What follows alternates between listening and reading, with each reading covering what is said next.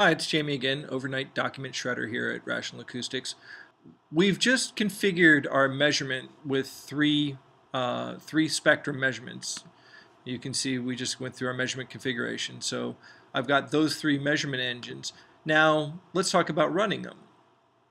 On my control interface and my on my UI here, I've got three measurement engines showing up here. You, we see a color assigned to the engine and a hide show button that will tell us whether or not we're going to show its data on the screen or hide it.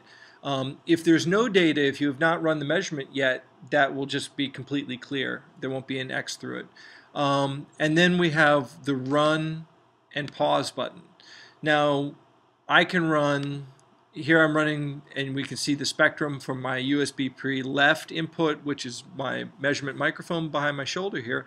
Um, and I can also turn on my USB pre-right, which is getting the, the console out. And I can even turn on my comp mic.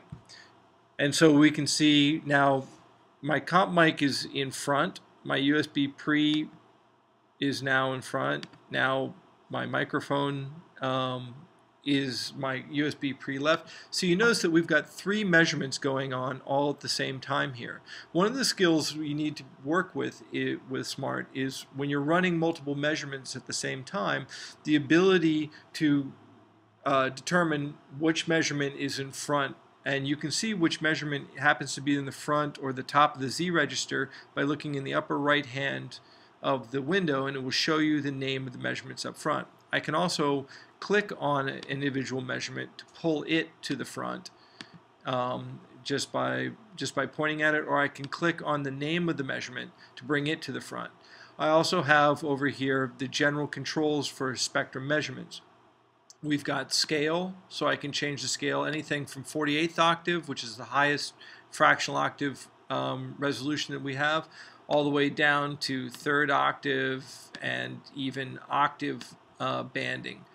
Um, I'm going to leave this at 12th octave where we started off in default.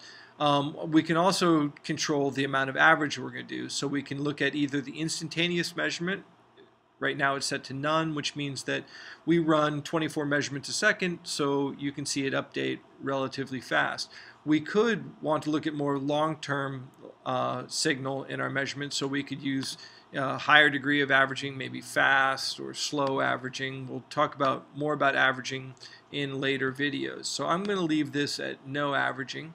Um, and we can see that we've got our three measurement engines running here. Now I can turn off or pause my comp mic.